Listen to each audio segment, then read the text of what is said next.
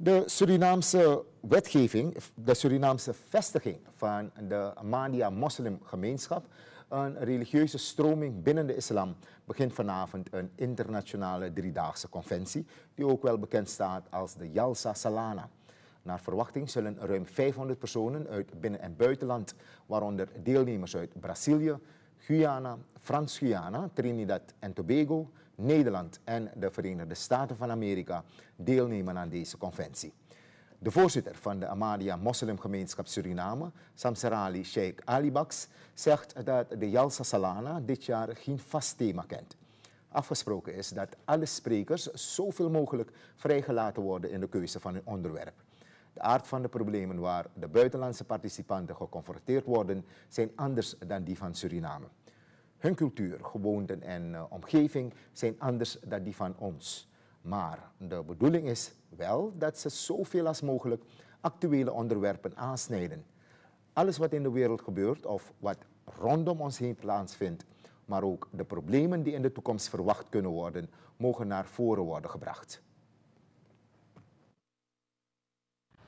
De problemen daar uh, waar er gelijk een oplossing aangedragen uh, kan worden, daar wordt gelijk een oplossing voor aangedragen.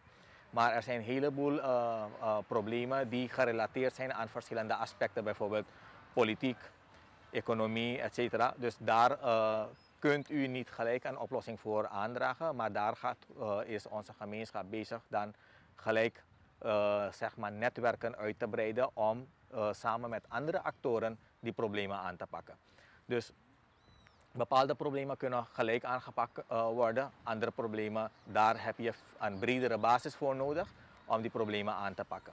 Dus, uh, en daar, het is niet een, een noodzaak als, uh, dat slechts leden van de Ahmadiyya moslimgemeenschap voor die oplossingen zorg dragen.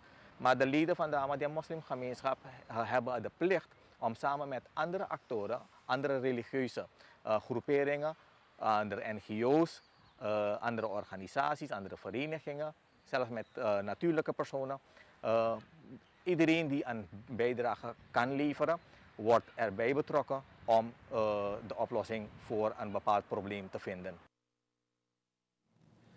De Jalsa Salana wordt jaarlijks in de lidlanden gehouden. Het is de eerste keer dat het zo groot in ons land gehouden wordt. Dit komt mede vanwege het feit dat de Surinaamse vestiging dit jaar 60 jaar bestaat.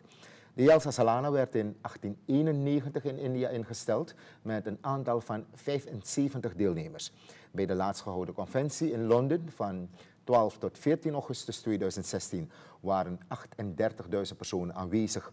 De Surinaamse conventie die vandaag van start gaat, wordt gehouden in de moskee van de Ahmadiyya gemeenschap en wel te Evram Zegen.